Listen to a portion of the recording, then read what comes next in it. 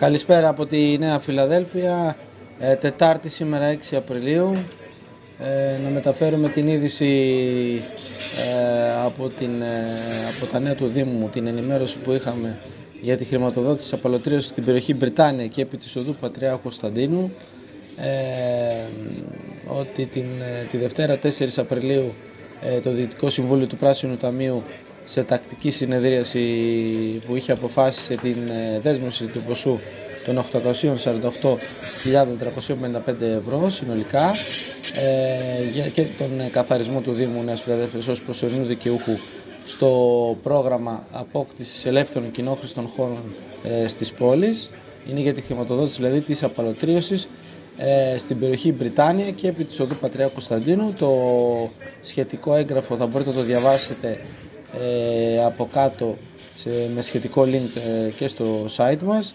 Ε, πάμε λίγο να κοιτάξουμε λίγο τις εργασίες ε, πίσω από την παλιά θηρία 3 όπου έχει ολοκληρωθεί η τοποθέτηση επιγραφής ο Παπαρένα όπως βλέπετε εδώ με το σήμα της ΑΕΚ. Από αυτή την ε, κοντινότερη λήψη βρισκόμαστε από κάτω από πίσω από την παλιά θύρα 3 όπως βλέπετε έχει ολοκληρωθεί η πρόσωψη ε, της πύλης ε, από την βορειοανατολική πλευρά του γηπέδου και τις εργασίες όπως βλέπετε που είχαν γίνει με την ε, με το μπετό καθαριότητας από κάτω. Έχουμε έρθει πίσω από την ε, Καπαδοκίας, από την πλευρά ε, την νότιο-δυτική όπου βλέπετε υπάρχει μια προετοιμασία σε ό,τι αφορά την τοποθέτηση και τις επιγραφές και από αυτή την ε, πλευρά. Θα κλείσουμε το σημερινό βίντεο από εδώ, από την οδό Καπαδοκίας. Δεν έχουμε κάποια άλλη σημαντική εξέλιξη να σας μεταφέρουμε και λόγω της σημερινής ε, απεργίας δεν είχαμε εργασίες.